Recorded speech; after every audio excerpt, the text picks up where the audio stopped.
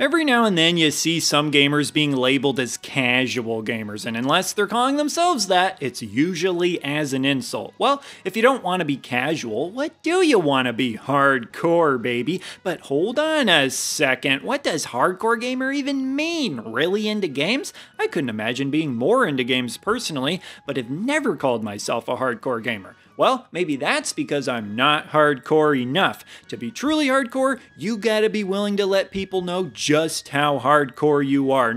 Now we're talking. Time to get me the kind of respect that I deserve. But is hardcore gamer just a term created to put down so called casual gamers? In some cases, yes, but it could also refer to many other things, especially within the retro gaming community. I mean, back in the day, I don't really remember anybody being called casual or hardcore gamers. I feel like calling somebody a casual gamer came from the video game industry growing, and with that growth came a larger player base, which naturally led to, for lack of a better word, more casual games and more casual gamers. Quick show of hands, who called their grandma a noob for playing Wii Bowling?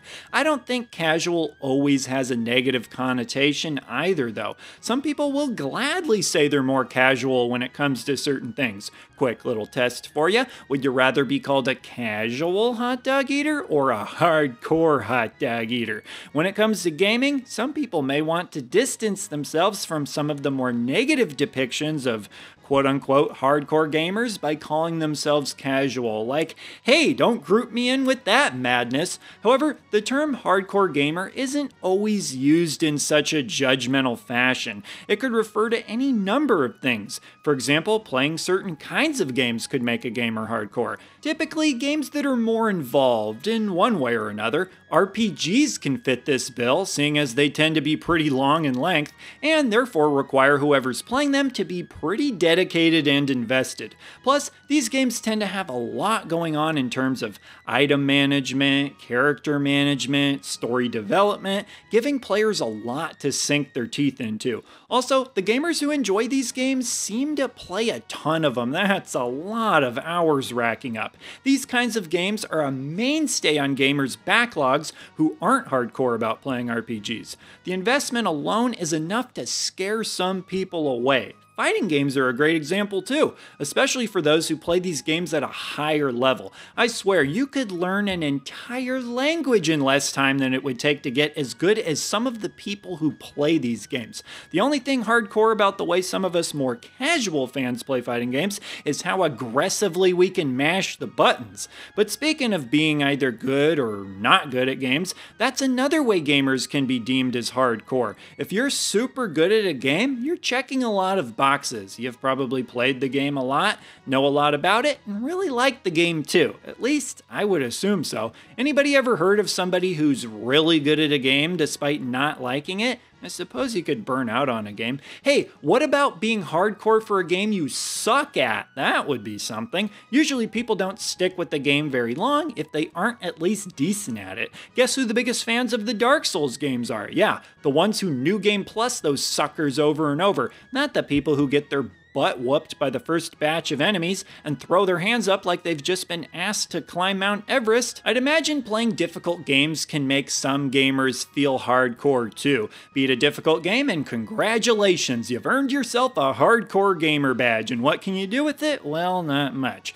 Beating a difficult game kind of falls in line with getting good at a game. I mean, I haven't figured out any other ways to beat difficult video games yet. I'll let you know if I do though. Getting good at a hard game is different from getting good at a not hard game because a hard game forces you to get good in order to make any progress. Don't try to button mash your way through Ninja Gaiden, it won't go well. All right, but what about playing more obscure games? Does that make you hardcore? I mean, typically you'd think a more casual gamer would just be playing whichever games are the most obvious, heavily advertised, the games everybody knows about. But nothing says hardcore gamer like somebody who plays Mr. Mosquito. The reason why playing more obscure games might be considered hardcore is because it requires more effort to track down and find these games. Well, assuming you're also trying to find a game that you enjoy. I mean, if if you want to pull up a list of games and go eeny, meeny, miny, mo on it, You can find something obscure with little effort, but it may not exactly be a banger. But even besides the effort taken to find something more off the beaten path, you'd also likely be playing something more unconventional. Playing a game like Herzog Zwei for the first time is kind of like slipping into a pair of your comfiest socks with a twist, requiring a little bit of patience to get into. Also, if you're willing to go off the beaten path, it means you've probably already spent a good chunk of time the beaten path itself. Point is, you've played a lot of games. Okay, but what about collecting? Some people would say that having a lot of games makes you hardcore.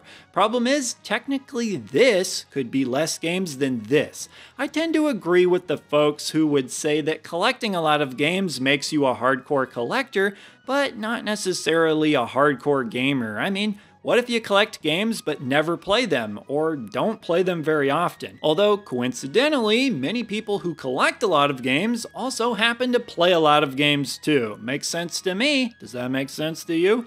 Ultimately, I think a hardcore gamer is just somebody who takes games really seriously in one way or another. I joked about Minecraft earlier, but there are absolutely people who play Minecraft in a way that could be considered hardcore. Whether or not people take their games too seriously, that's up to you. It kind of reminds me of words like dork or nerd, especially when it comes to gaming, as it can be used in either an insulting way or not depending on how you use it. Part of me thinks hardcore gamer is just a term people came up with to differentiate themselves from people who play cell phone games. And yeah, I'm guessing there's probably a lot of people who think it's just a dumb word to use in any context, especially among amongst retro gamers, as a lot of us didn't really use this word back in the day. Unless I just missed something, how many of you remember the term hardcore gamer being thrown around back in the day? Maybe I could be wrong. And by the way, when I say back in the day, I mean the 90s or earlier. Sorry kids, your opinion isn't what I'm looking for on this one, but that doesn't mean I don't still want you to be a part of the hobby. Alright, but besides hearing from all of you about the earliest time you heard the term hardcore gamer, I'd be curious to hear what you think in general. Do you think hardcore gamer is just a stupid term, or is there something about it you find interesting? As always, would love to hear what you have to say, so leave your answer down below, and I will see ya in the next video.